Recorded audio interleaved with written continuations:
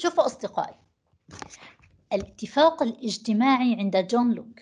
تعالوا نشوف كيف هيك خلينا شو يا جماعة تعالوا لنتفق هيك يعني تمام؟ يلا. رح أتفق أنا وياكم اتفاق. هو إنه نحن عندنا شيء اسمه المساواة أمام الله. المساواة أمام الله. و... و... يعني نحن هلأ بنشوف فيلسوف يدخل الدين بفلسفته يدخل بفلسفته خلينا نقول الاجتماعية. قد تكون عند هوبز آه، فلسفة نحى فيها الدين ودور الله عز وجل أو السلطة الدينية بهذا الموضوع. تعالوا نشوف. انطلق من قناعة مفادها أنه يجب الحد من سلطة الملك المطلقة. يا عيني هي الكلام منافي تماما لكلام مين؟ هوبز. منافي تماما رائع. منافي تماما لكلام هوبز.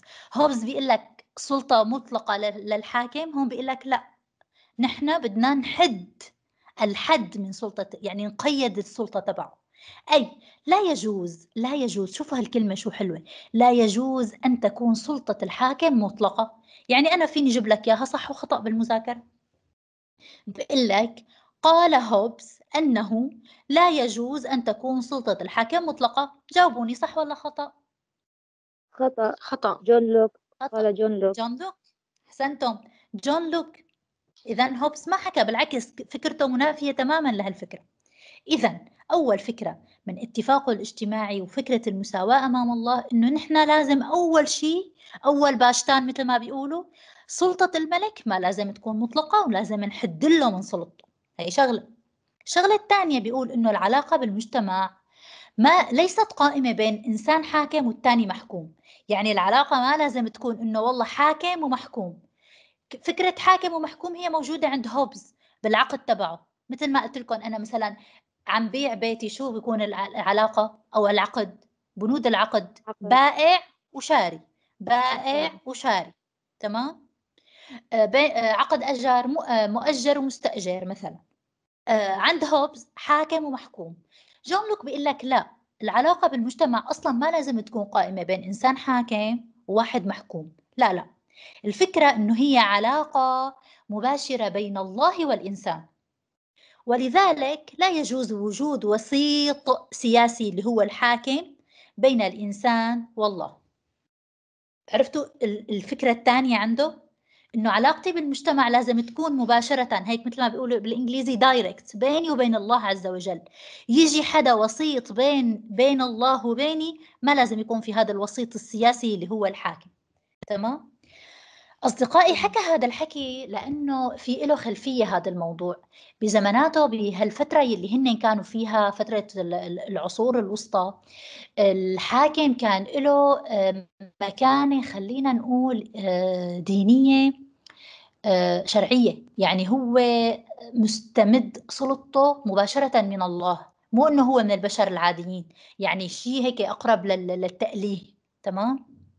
لهيك هو حدا حكى هذا الحكي إنه مثلا كانوا حتى يروحوا إذا ما بعرف إذا أنتم سمعانين بهي بهي القصص اللي صارت حقيقة بالعصور الوسطى. الحاكم دائما يقرب منه آه، مجموعة من رجال الدين.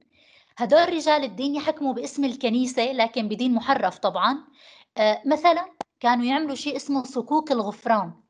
شلون يعني؟ يروح مثلا واحد يفوت على الكنيسة يوقف قدام هذا رجل الدين. ما بعرف شو بتكون له رتبة يعني قساوسة و وما بعرف شو الأسماء تبعهم.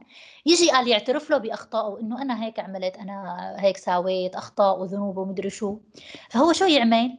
يعطيه مثل صكوك غفران إنه أنا هلأ توسطت لك إنه أنت هلأ حتنغفر كل ذنوبك بس شو مقابل يقدم مال للكنيسة. الشغلة الثانية إنه هن كانوا حزروا شو يبيعوا. يبيعوا أراضي من الجنة. تصور يروحوا لعند مثلا فلان يقولوا له إنه مثلا لعند رجل الدين يعطوه مصاري ومبالغ وقيم وحطوا ذهب وهدايا مقابل إنه يعطيهم ورقة إنه أنا بعتك أرض بالجنة. تصوروا وين كان الجهل. لهيك سبحان الله بسموها العصور الظلامية. كان في جهل مسيطر مستشري بهذاك الوقت. فلما اجى لوك عن عن جد كلامه كان من حرقة قلبه خلينا نقول.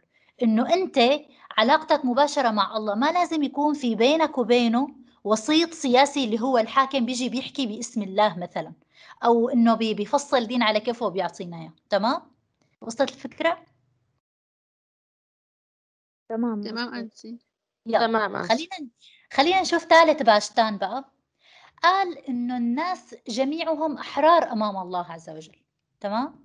نحن كلياتنا أحرار أمام الله ما في طبقات. أه، والعلاقة المباشرة مع الله تجعل الناس متساوين. كلياتنا سواسية من حيث الحريات وحتى باقي مجالات الحياة. تمام؟ إذا نحن أحرار أمام الله. أه، جميع الناس متساوين. في الحريات وباقي مجالات الحياة. تعالوا نلخص الكلام. بالاتفاق الاجتماعي اللي حكى فيه لوك بفكرة المساواة أمام الله إنه سلطة الحاكم ما لازم تكون مطلقة تمام؟ ولازم الحد من سلطته. علاقة العلاقة بالمجتمع يجب أن تكون بين الله والإنسان ولا يجوز أن يكون هناك وسيط سياسي اللي هو الحاكم والعلاقة مو هي حاكم ومحكوم أبدا أبدا. والناس جميعهم أحرار أمام الله وهذه العلاقة المباشرة مع الله تجعل الناس متساوين. كلياتنا أمام الله عز وجل سواسية. ما في طبقات ما في طبقة نبلاء مثل ما حكيت لكم. تذكروا هوبس قال في شيء اسمه حكم أرستقراطي. قلت لكم شو يعني أرستقراطي؟ هي حكم طبقة النبلاء إنه في ناس يعني خلينا نقول هيك نبلاء وناس كخ ناس هيك من من عامة الشعب من سواد الشعب. يعني هذا التفريق الطبقي. هوبز ما حكى عفوا لوك ما حكى بهي الفكرة تمام؟ عبرت الفكرة يا أصدقاء؟